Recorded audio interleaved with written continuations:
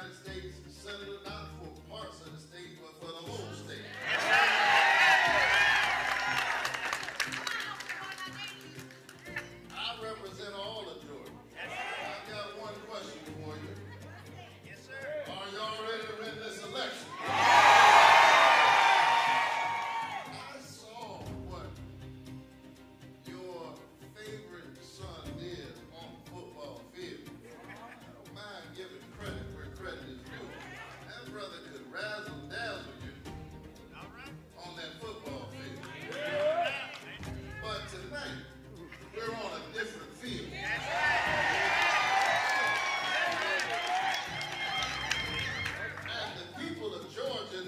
true champion.